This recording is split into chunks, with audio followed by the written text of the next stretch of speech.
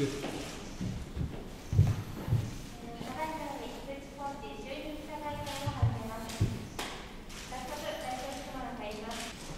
ずいよいよこの就任会見の日を迎えますけれども、まず今のお気持ちから伺ってよろしいでしょうか。いや本当新鮮な気持ちで、えー広島を離れて16年経ちましたが、えー気持ちは変わらず本当に新鮮な気持ちで来ました。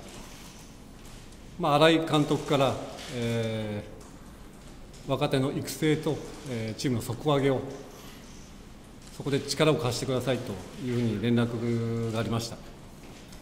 まあそうですね、えーさし久しぶりの赤いユニフォームなんで、まあ、本当にワクワクしてます。本当、選手の能力が高い、ポテポテンシャルの高い選手が多いですし、えー楽しみなチームだなとは感じてます。まあ、選手のもちろんプランだったり、えー気持ちだったり、いろんな夢があると思うんで、えーその話をしながら、コミュニケーションを取りながら、えーできるだけその選手の長所をしっかり伸ばしてあげたいと思っています。えー先ほど、え2軍の打撃兼走塁コーチというふうに伝えられました。先ほども話しましたけど、えーまあ、その選手がどんな思いでやっているのかでチームとしてどういうふうに求められているのかというのをしっかり話をしてで自分が求めているものとチームが求めているものそしてどうやったら力になれるかっていうのをしっかり話をしながら、えー選手が迷わないような、えー環境づくりといいますかそういうことはやっていきたいです。えーまあ、伝統である、えー機動力っていうのはやっぱり先輩方が築き上げてきたものですしやっぱそのチームカラーっていうのがやっぱずっと引き継がれてるこれから先も引き継いでいくものだと僕は思っているので、えーまあ、盗塁は数だけではないんですけども、まあ、今年に関してはどうしてこうスタートが切れなかったとか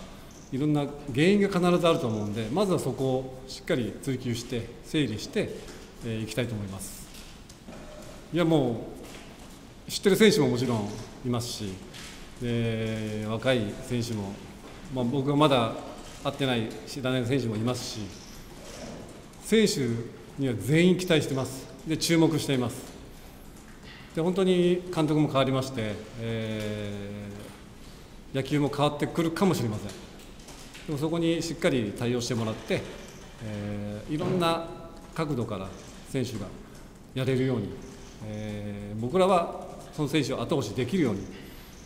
毎日続けていきたいと思っています。さっき久しぶりの赤いユニフォーム、本当に心待ちにしている古くからのファンもいらっしゃると思うんですが、カープファンへぜひメッセージをお願いします。はい、えー16年ぶりに、えーカープのユニフォームに袖を通すことになりました、えー本当に広島の方とはあの僕がカープを離れてからも本当につながりがありまして、えーいろんなところで声かけていただいて頑張ってよと、えー声かけていただいてます。で実際こうやってカープに、え戻ってまいりまして責任ももちろん感じております。毎日本当に、えー一生懸命選手たちと一緒になって、えーやっていきたいと思っています。ありがとうございます。代表からいきます。